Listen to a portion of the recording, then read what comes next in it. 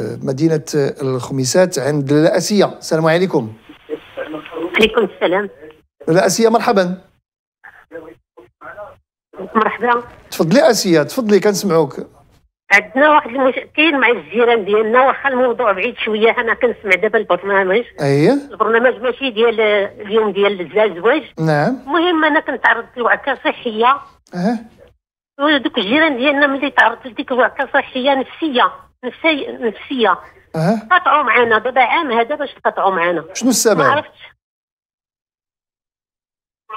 السبب السبب. علاش تقاطعوا علاش تخاصمتوا؟ علاش انقطعتوا ما واش قالوا نفسيا ماشي مرض ما عرف شنو. جاب لهم الله ما نعرف. حنا محيرين دابا. حشومه جا وجهك في وجهه ما تهضرش معاه ما تواسيش ما ما تتكلمش معاه. عرفتي؟ حتى على السلامة حتى على هذا جات في شكل. وجه وجه لاله اسيه الله يجازيك بخير. بغيت نعرف شنو السبب؟ السبب هو قلت لك تعرضت أنا لوعكه صحية. اييه السبب هو المرض ديالي. اييه المرض ديالي كان نفساني.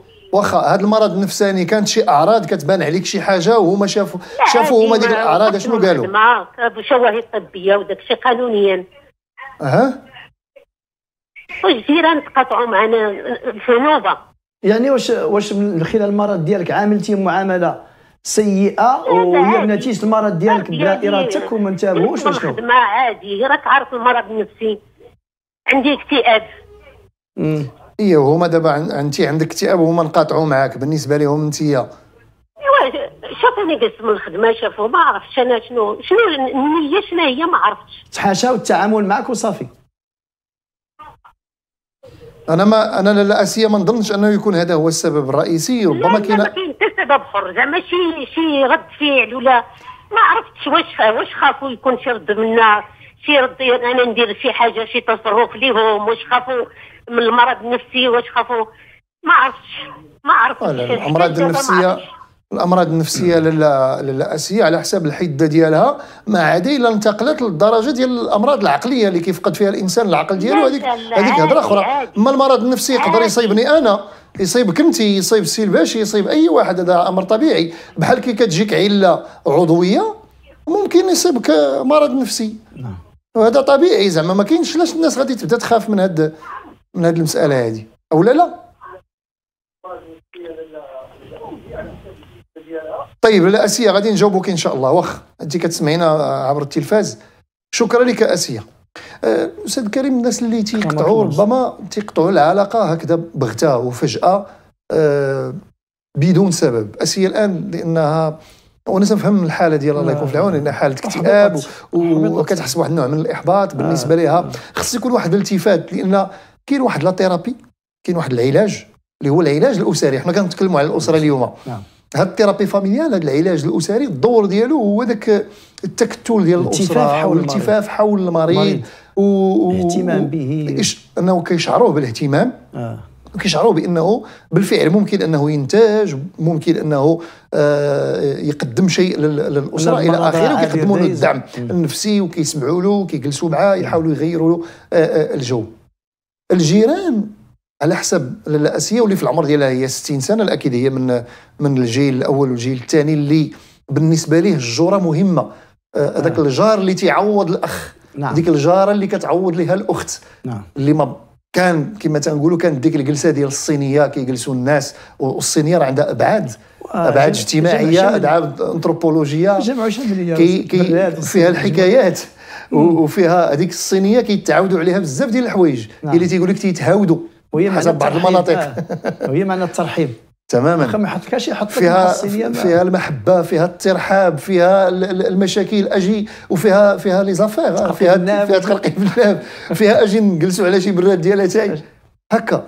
نعم. اذا هاد السيدة لاله اسيه تتحس بواحد النوع من آه، آه،. الإحباط. آه. في نظرك كيفاش ممكن آه، نخرجوا من هاد من هاد الحالة هذه على غرار لاله اسيه كيفاش تت- كيفاش تتحسها هما الجيران الآن؟ رجعوا.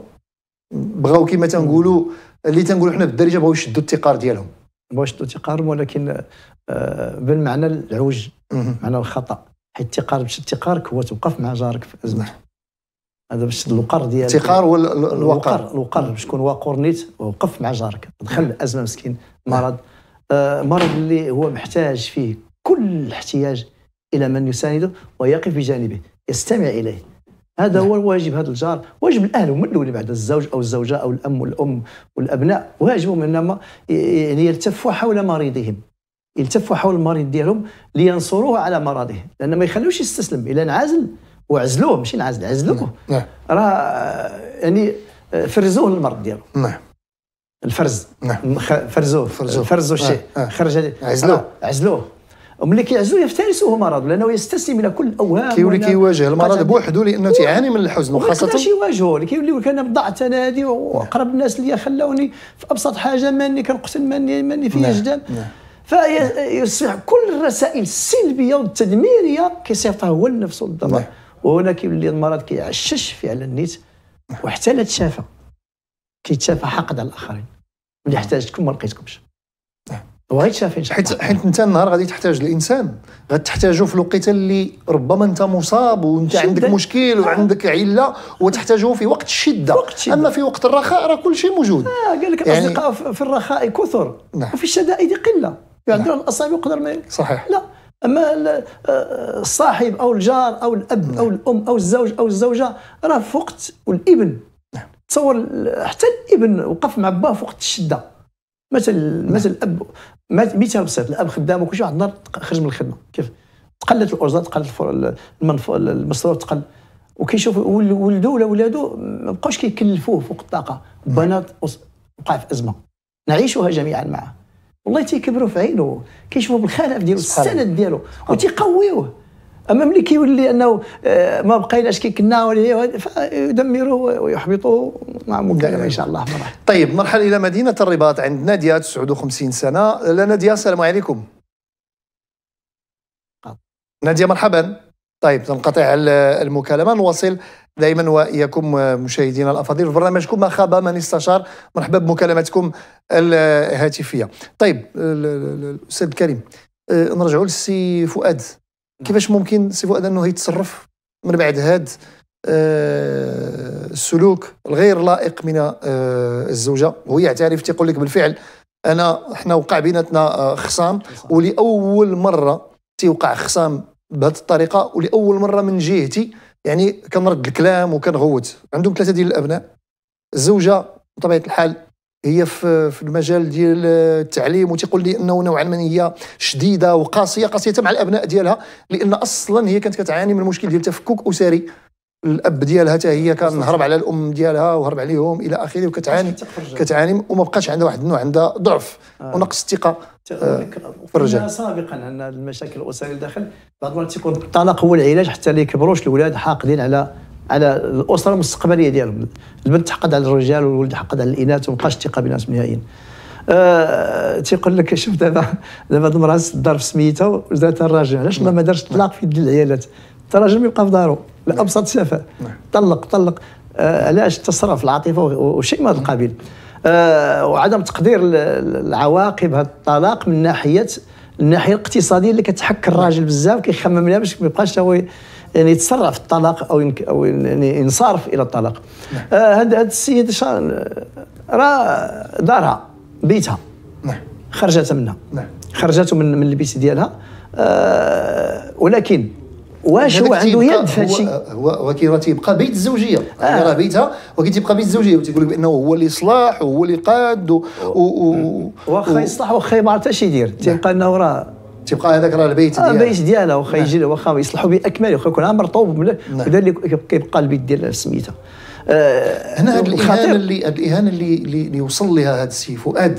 كيفاش ممكن أنه الآن يتصرف؟ لأن صراحة هو أنا سألني سؤال ماشي محرج ولكن سألني سؤال اللي ما يمكن ليش نجاوبه جواب مباشر. قال لك اودي في هذه الحالة شنو ندير؟ واش نمشي نطلق؟